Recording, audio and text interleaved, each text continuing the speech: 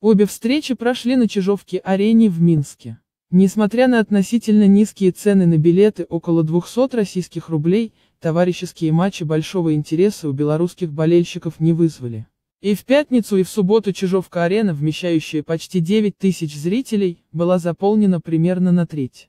По сравнению с первой игрой в пятницу тренерский штаб сборной России произвел по одному изменению в каждой линии. В воротах Иван Бочаров заменил Илью Коновалова, вместо защитника Евгения Кулика появился Иван Мищенко, а форвард Игорь Руденков заменил Артема Михеева. Первый период проходил в равной борьбе и практически без опасных моментов.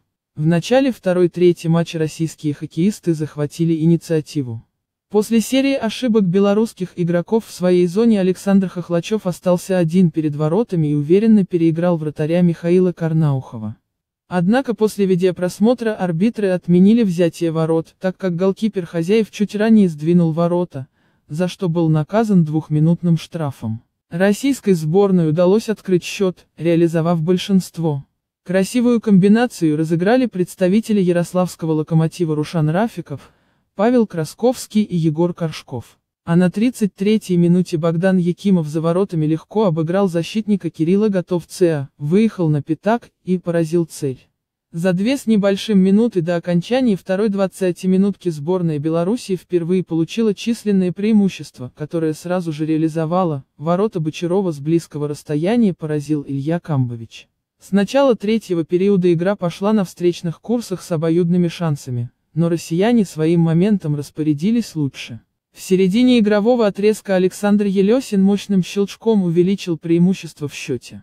В дальнейшем у сборной России было больше моментов для того, чтобы забросить четвертую шайбу, чем у хозяев сократить разрыв в счете. Не помогло сборной Беларуси и удаление в составе российской команды.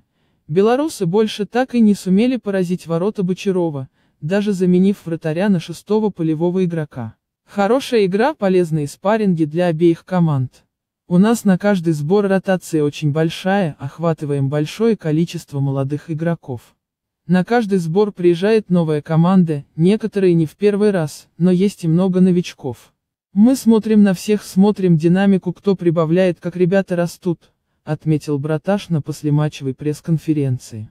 В ночь на воскресенье в Национальной хоккейной лиге завершается регулярный чемпионат.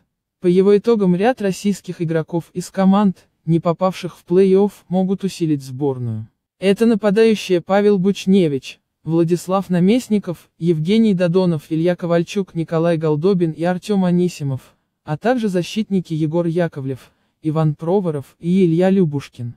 Пополнить состав российской сборной может и вратарь Александр Георгиев. Олимпийская сборная в течение месяца проведет еще гостевые встречи с французами 12 и 13 апреля, сыграет со швейцарцами в Сочи, 18-20 апреля, а также встретится с латвийцами в Риге, 24-25 апреля.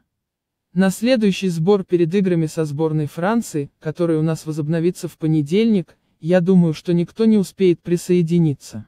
Может быть точечно один или два человека будут. А уже на следующий сбор перед играми со швейцарцами в Сочи, Думаю, что много будет игроков из тех команд, которые вылетят в полуфиналах плей-офф континентальной хоккейной лиги, возможно кто-то даже из НХЛ, рассказал Браташ. Лучшие игроки по итогам серии товарищеских матчей могут получить приглашение на сборы национальной команды под руководством Ильи Воробьева для подготовки к чемпионату мира, который пройдет с 10 по 26 мая в Словакии. Сборная Белоруссии на прошлом чемпионате мира в Дании заняла последнее место в группе и вылетела из элитного дивизиона. Белорусские хоккеисты под руководством Андрея Сидоренко готовятся к чемпионату мира среди команд первого дивизиона группы А, который пройдет в столице Казахстана с 29 апреля по 5 мая. Перед главным тренером и игроками поставлена задача вернуться в элитный дивизион. Для этого белорусам необходимо занять первые два места в группе со сборными Казахстана, Словении, Венгрии, Южной Кореи и Литвы. Было два хороших матча, они были разными. Сегодня мы немного перестроили игру, выглядели по-другому, первый период провели очень хорошо. Второй период провалили, а в третьем пытались сработать на результат.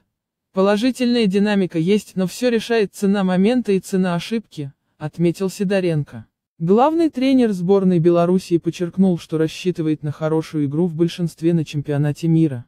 С субботней встречи с россиянами белорусским хоккеистам удалось реализовать численные преимущества. В атаке хотелось бы сыграть получше. Одна заброшенная шайба – это очень мало нападения, надо усиливать. Будут новые игроки, но расставаться пока ни с кем не будем. Некоторым хоккеистам еще нужно добавлять физически, сказал Сидоренко.